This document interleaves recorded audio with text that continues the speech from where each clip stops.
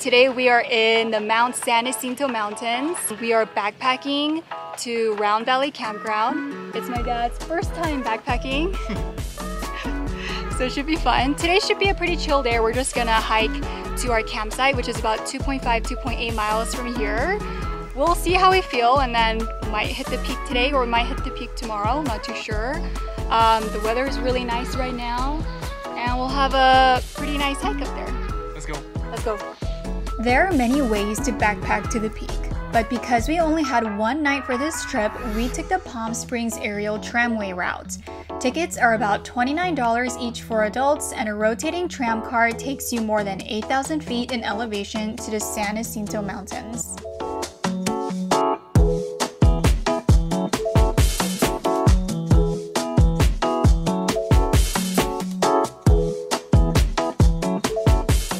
How are you feeling? That's the ranger I'm station. very good. Going to the ranger station. You must have a permit to camp overnight. We secured our dates via snail mail a few months before, so all we had to do was check in at the ranger station, where they provided maps for us and answered all our questions. Starting here, camping here, and tomorrow we will hit this peak. So you got a, like a 2.8 mile into Round Valley. When you get to Round Valley, you're going to see not much of anything. So as you come in, um, you'll see it almost looks like a deer trail, but a little bit wider. Got the workout started. It is 12.08.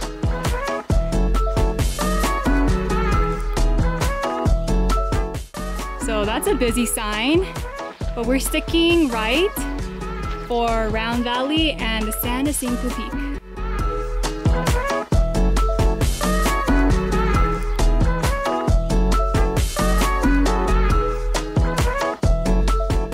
Hit the two mile mark now. Our pace is 31 minutes a mile, which is not too bad. The incline's not too bad and it's shaded for the most part, so that helps. Definitely not super strenuous, um, but in about half a mile, we should be heading the campsite. Well, we're here. It's 1:34. That's the unmanned ranger station right there. Mileage, 2.2 miles. Yeah, so that's the water spigot right here. Hi. Hi. Um, I'm okay right now. Trying to find a camp spot. Each campsite is marked, and the rangers recommend claiming a spot first, then returning to this whiteboard to write your initials and exit date next to your chosen site. There is also a water spigot, but this is not a reliable source of water year round, so check with the ranger station first before starting your trip.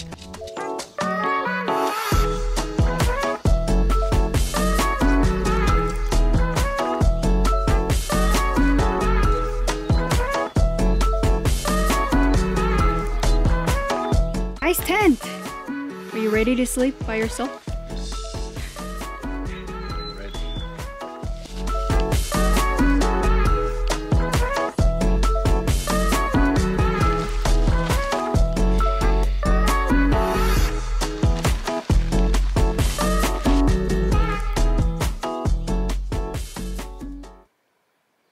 So there's been a little bit of a change of plans.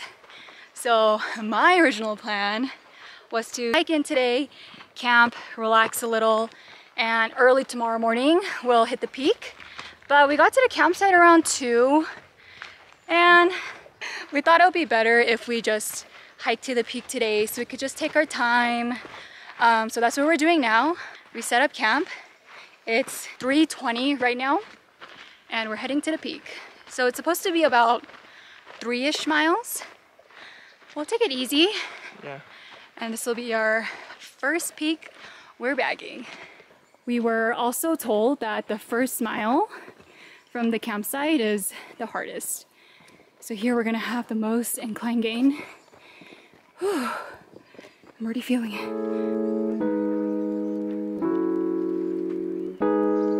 Here we are at the famous Wellman Divide. We are at an elevation of 9,700, 2.7 more miles to the peak. That mile from the campsite to here, incline was definitely more significant than coming up from the tram, but it's just so much better because we're not carrying our packs anymore. Wow.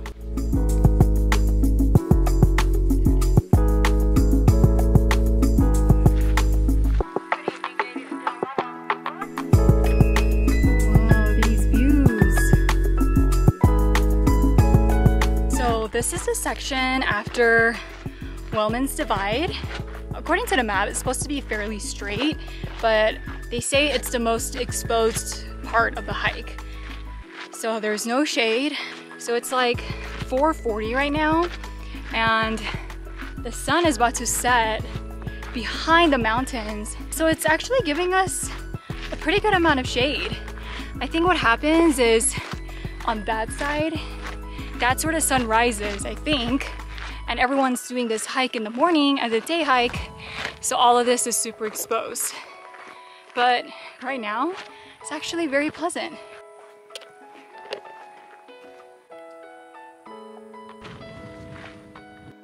It's 5.23.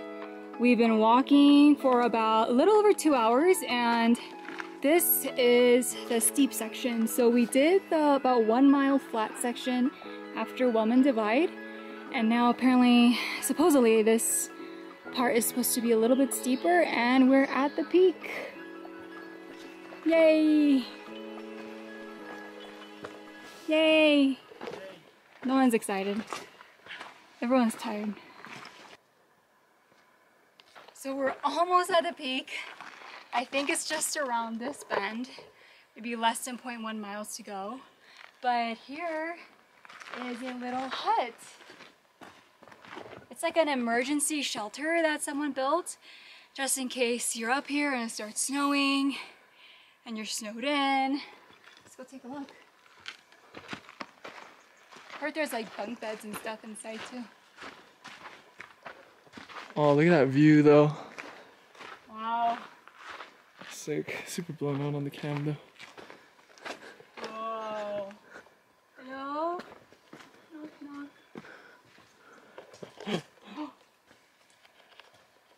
sleeping bag. Whoa. Someone left a little notebook. Wait, it's full! I'm dying. okay, what should we write?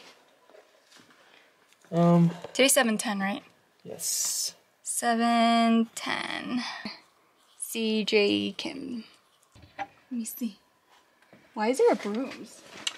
clean up after this house. Whoa! Wow. Oh, cool. Oh. Got bars, matches, pain relieving spray. Oh, ladders up there. Ladders up here. What's that was mostly used by? Oh, dude, it was built in 1933. The last few feet, and I think I read that it's a little bit of a scramble to get to the way top. We made it! Honestly, that last scramble was kind of hard. But look at these golden hour views. Someone had to steal the sign.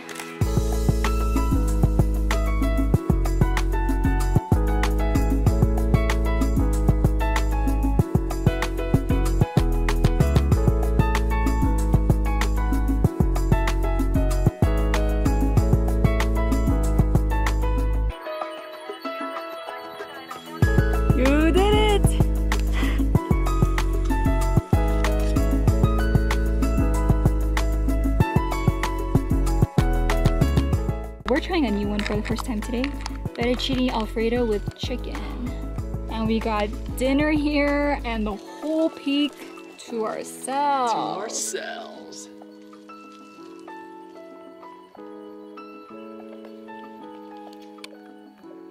Are you smiling? Mm -hmm. Okay. we made it! First peak, Mount San Jacinto and we have it all. My camera battery died here, but after dinner, we hiked back to camp and was able to witness a beautiful sunset. The last half of the hike was in the dark, but it was actually nice to escape the hot sun for a while.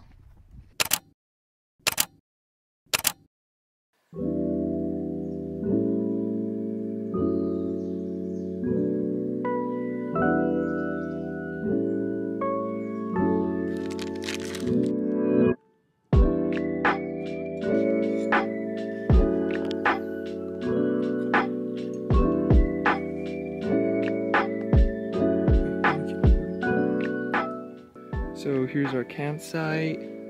Doing a little tour. This is called the Buckthorn site here at Mount Jacinto. Um, to get here, you just need to follow post R6. And we thought it'd be pretty good to share this site. And it's really, really good in a nutshell. So you have this area, a lot of rocks, which are super awesome to lay your equipment down, keep it clean off the, the ground. You have a soft patch over there to lay your tent. Very shaded. Again, huge amount of boulders. And you can lay your tent here. Everything's generally flat and soft. And you have these rocks and stumps you can sit on. And then this is kind of like the front area. And you have this super flat rock here that you can cook on, which Scarlett is doing. And then you have another flat area in the back, which you can set up another tent. I think if you came with a group of even like six tents, you'd be able to be able to set up everything. 15 person max. 15 person Per max? site. All right. So you can push up to eight tents maybe. Yep, that's our tour. This is again R6 Buckthorn. This little guy is the latest addition to our backpacking gear. It's the platypus water jug. I don't know what you call this, but it's two liters, flexible water bottle. Um, and basically, we got this like the day before we came here um, because we needed like an easier way to filter water. So we put our Sawyer mini water filter onto here, and this fills so much water, two liters. You don't need to like keep going back to the spigot to like filter your water again. So this is so convenient. I wish we had this earlier. And it's like $15 at REI, so it's not too bad.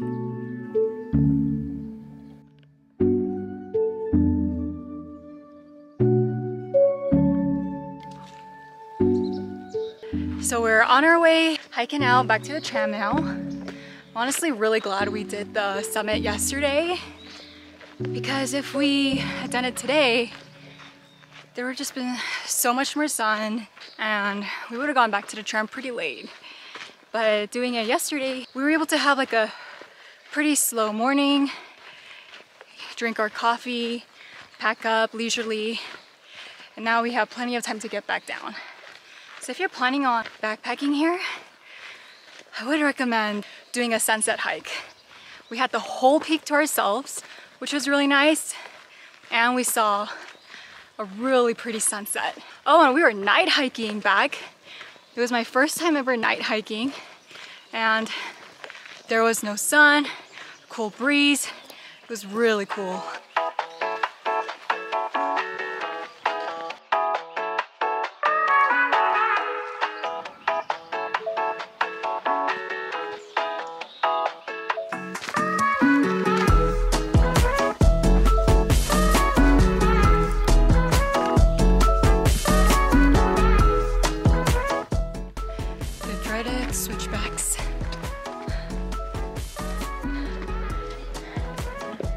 Bye bye.